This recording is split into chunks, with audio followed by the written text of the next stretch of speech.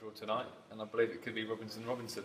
Yeah, my brother's obviously wanted to town and they got through on, on Saturday and I've made up for him. Um, so it'd be nice for me mum and dad tonight watching the draw, knowing that we're both in the same hat. And obviously, I'm not too sure whether we want both teams, but if we end up getting them, it's a game that I want to win him. I want to beat him because that's just the way the, the, the, industry works. And there's no sentimental value whatsoever when you play against whether it be your brother or whether it be somebody you've known for a while or the club you've been at for a while. It's, it's, it's in our DNA that every time you play against you want to win. But I, made up for. I'm really proud for, for him as well to get the opportunity to play in the, I do believe, the first round proper of the biggest club, club, club cup competition in the world. And I've said that a number of occasions, and it'd be nice, like say, for my parents to see even to watch the draw. And I'm not too sure whether they want us to be drawn against each other.